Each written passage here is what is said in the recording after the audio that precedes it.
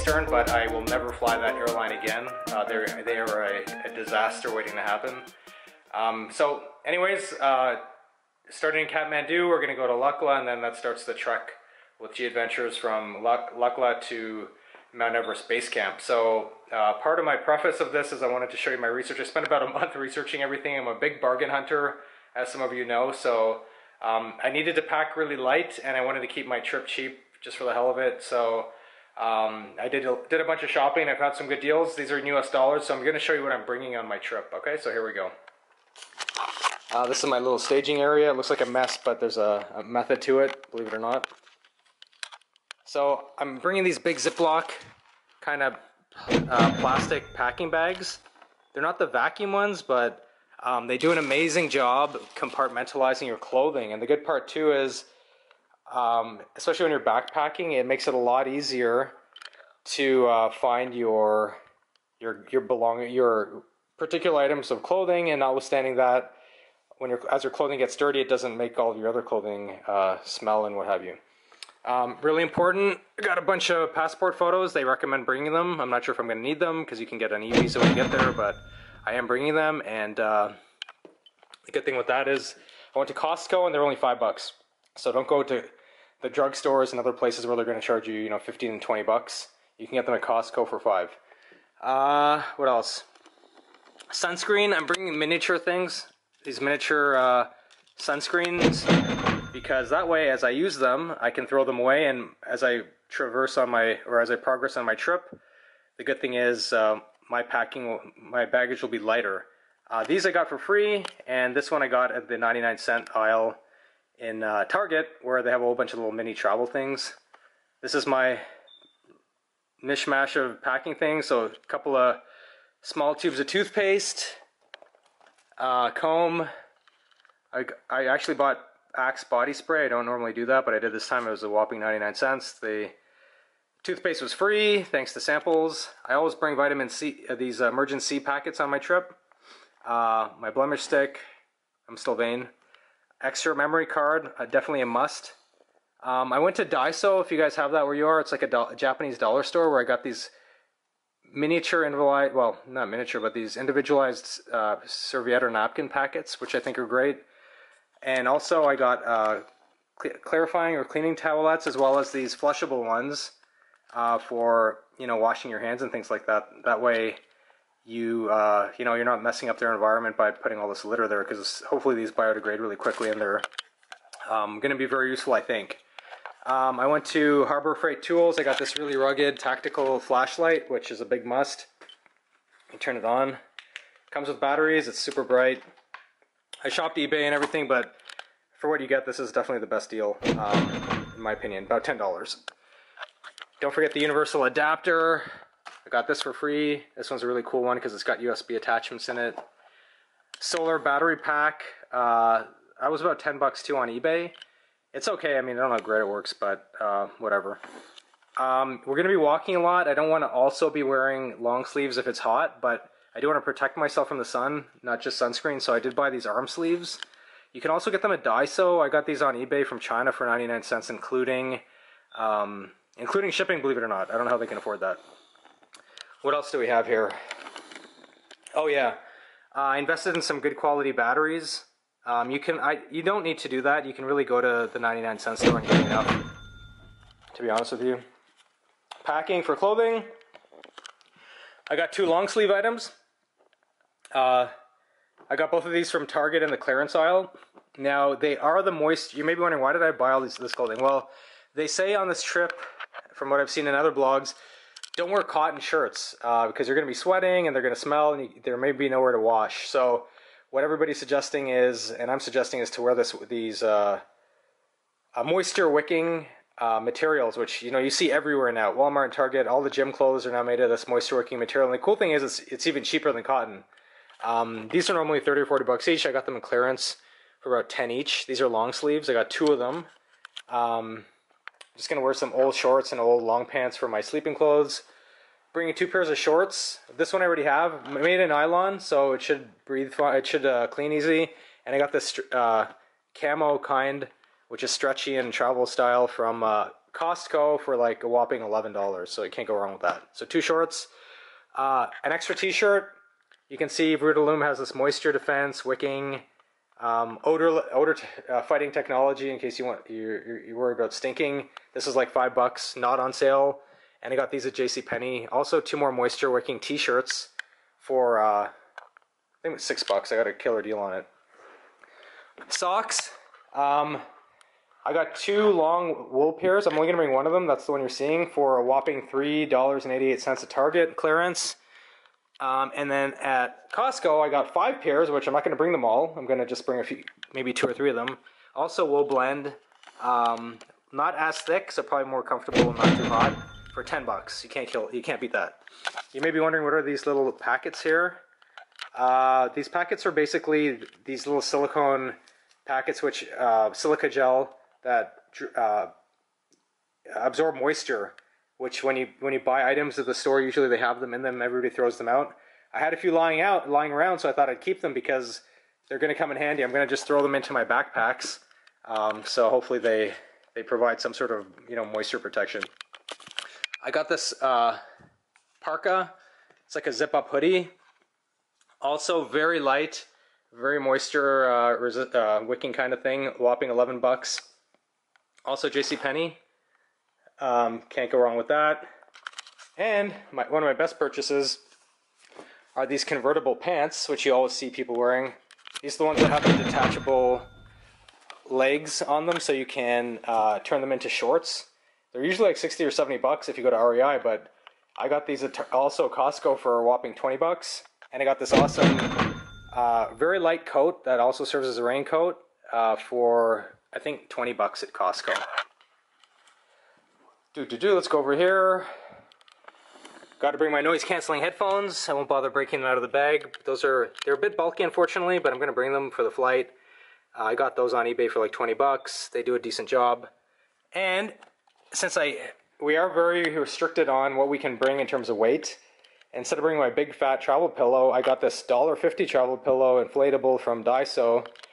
And for those of you wondering if it's going to be good quality, the good thing with Daiso that Japanese company is they give you it's like a dollar store, but they sell quality stuff, so you don't have to worry about uh, you know using up or you know things breaking after one use. So I tried it yesterday; it's actually really good quality. So that was a dollar fifty, and of course I wouldn't go anywhere without my one of my favorite watches, my G-Shock. Uh, this is my one of my favorite watches because it adjusts to the time automatically based on the atomic clock and the time zone you're in, and also uh, it's solar, so you never have to worry about a battery going shit on you. So that's kind of it. Oh, let's not forget the bag. Um, I wasn't. I'm not really a backpacker, so I ended up buying a backpack for this trip, even though I may not totally need to use it from what I hear. But I got a 75 liter bag.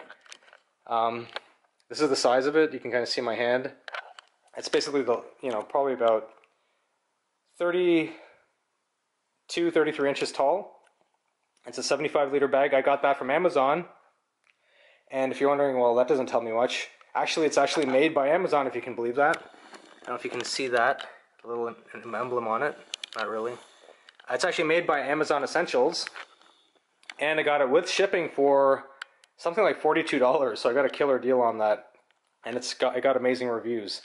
So as you can see, um, packing on this was, it was a it was a long haul going all these going to all these stores, but I actually really enjoyed the process. Um, so now I'm going to put everything together, and let's hope it can all fit in there. I think it can. The good thing with these moisture wicking things is that they're very, uh, very, very thin and very light. So that's it for now. Um, I will be in touch with you guys later uh, as we keep documenting this trip. Thanks. So there are a couple of streets uh, where they sell tons of shit, like all your camping. As you can see, I got a good uh, view into trekking just going on the street because they're resurfacing it. I hope they're resurfacing it. Um, the Adidas held up pretty good. Now I myself am looking for one last minute item, uh, but you can see everything's like Everything's a knockoff, but to give you an idea of the prices on things, like you can get these beads bracelets for like about a dollar fifty.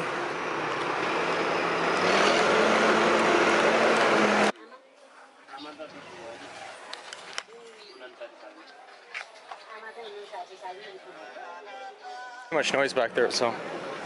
But these streets just keep going on and on. There's another series of streets. I won't bother showing that to you. Um, but yeah, you can get like a windbreaker, a fake North Face windbreaker for probably like $15. Good quality. A fleece jacket for 8 or $9. Um, a sleeping bag for maybe 20 but you can just see these stores keep going on and on and on. They usually open at about 9 in the morning and close at about 8 or 9 at night.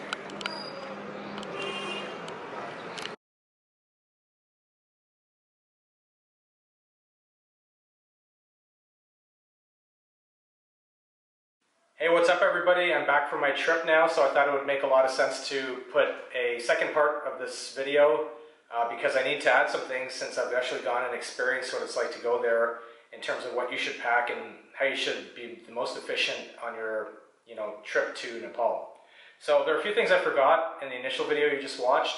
Number one is shoes. You're going to be putting well over 100 kilometers, maybe 200 kilometers on your shoes walking. It's going to be a very foot intensive trip. So there's really not much more important than your footwear. Now before I left I was really struggling with what kind of shoes do I bring. I'm not a hiker, big hiker so when I do hike around here in LA, I'm usually just wearing regular running shoes. Uh, but you can't really do that on this kind of trip. And so I'm not the type to wear hiking shoes. I know a lot of people wear hiking shoes daily even, but I wasn't sure whether to bring hiking shoes or something a bit more simple. So I opted for both. So they have these days, obviously hiking shoes. I, I opted for these Merrell shoes, but they also make these things these days called uh, trail runners. That's basically like running on trails. And I wasn't sure which to bring. I wanted to bring the most comfortable shoe for me. I had the misconception or the preconceived notion that wearing hiking shoes would be uncomfortable for many kilometers. I always thought they're going to be heavy, inflexible, and such. And so I was trying to figure out a way not to uh, wear running shoes, pardon me, hiking shoes. Now there are different types of hiking shoes. They have these regular hiking shoes, which are shoes. They have hiking boots, which obviously ride higher up and encumber your ankle. There's a big school of thought between which kind to bring. I'm going to probably do a separate video on that. But in a nutshell, I didn't know which to bring. Uh, I did a lot of research, so I opted to bring both. For more than one reason. The biggest reason though was you're in the middle of nowhere and you don't want something bad to happen to your shoes and you not to have a backup. So since I wanted to bring try running using trail runners, but I wanted to not screw anything up, I bought these hiking shoes and I bought these trail runners. These are Merrell hiking shoes. I bought them at Nordstrom Rack. Nordstrom Rack, if you have it in your area of town, is a great store for shoes because they sell, you know, brand name shoes and they are fantastic with their deals. I think I ended up paying about $50 for this pair. And what I also got at Nordstrom Rack were these pair of trail runners by Adidas, and they were fantastic, super comfortable. Ultimately, on the trip, since I'm back now, I can tell you I did wear these for the majority of my trip in terms of walking. Uh, when we would get to the tea stations and chill out for the evening, I would put on my trail runners. And now that I'm looking back on it, I would still I would still bring both. You should always have a backup pair of shoes. Just my opinion. However, for the day-to-day of walking and the, the grunt of walking on the these the pebbled path and where there is no path, you definitely want these. Why? Uh, yes, they are a little bit heavier than trail runners, but the most important part is the soles are uh, more sturdy. They're not sturdy to the point that the shoe's inflexible, although I do recommend before you go on your trip, wear your, wear your new hiking shoes for a couple of weeks so that they can kind of get broken in because you don't want to break shoes in on your feet while you're actually in the hike and you don't have sore feet. Because sometimes you buy shoes and they just don't fit your foot properly. Like your the, the shape of your foot's not the right match for the shoe. This happened recently when I went to North Korea. I bought a new pair of New Balance, you know, walking and running shoes, and after two days, for some reason, the right shoe was making my foot hurt, and I didn't know why. In fact, it was making my whole leg hurt, and I had a limp for most of my trip. And it was just because there was something off about the shoe. So, nonetheless, do get a hiking shoe. I did not opt for the boot. A lot of people talk about using a hiking boot for the trip.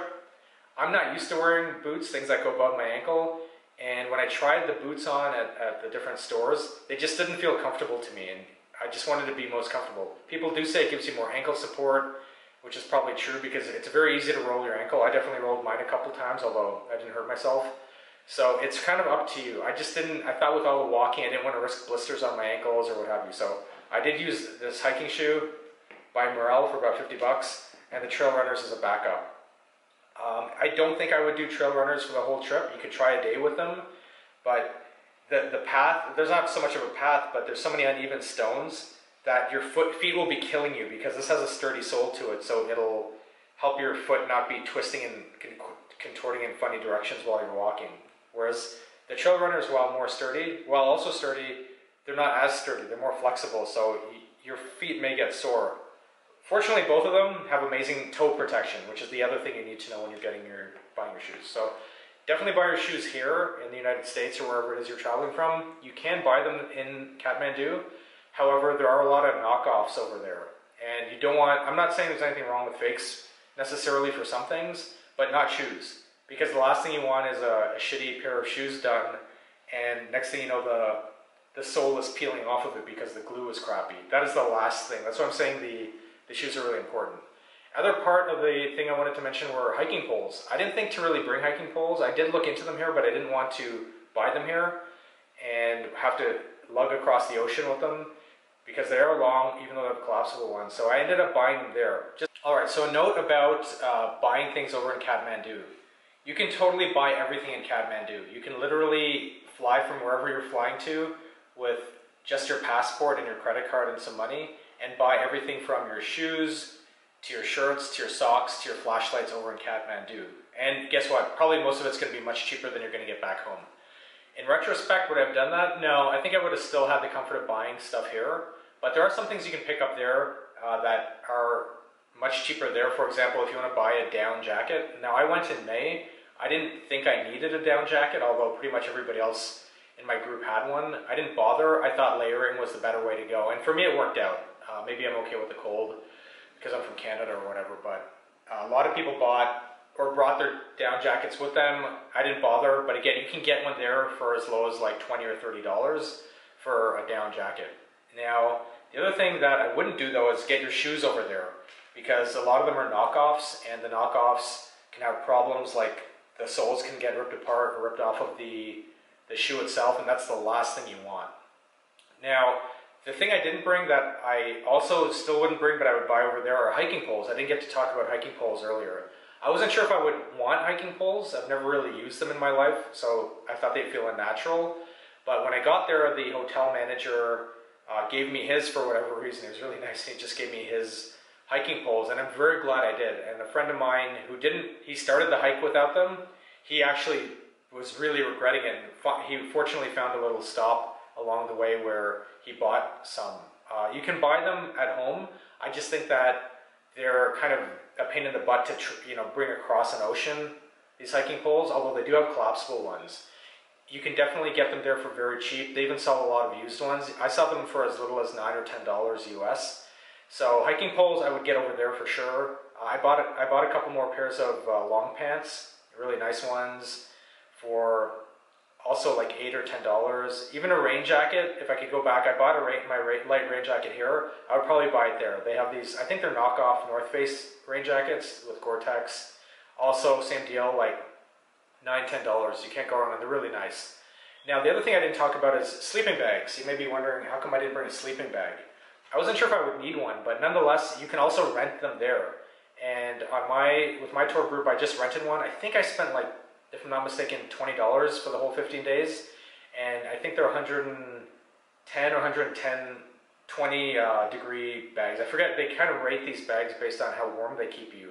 But yeah, even though I went in May, you do need that sleeping bag at the, at the tea houses, uh, especially as you get further up, because it starts getting pretty cold in the night. And uh, you know, it's nice to have your own little bag to sleep in. And that's one thing you can definitely rent there without being encumbered with bringing your own. Although you can totally bring your own. I have a philosophy of bringing as little as possible. So you can rent your sleeping bag. So those are the three big things. Don't worry about forgetting anything because you can 100% get it over there if you missed anything. Number one. Number two is get your shoes back at home. Get good shoes. I didn't bother with waterproof ones, by the way, for a few reasons, which I'll get into in another video. And uh, number three, sleeping bag and hiking poles. You can get them over there as well as everything else. Oh, and one more thing I want to mention before I cut the video loose, which is uh, I brought a flashlight. And I would suggest not only bringing a handheld flashlight, but if I could go back and do it again, I would definitely get one of those flashlights that strap to your head uh, with the flashlight in the front. Because what you will find at the tea houses, there's really no light in the nighttime.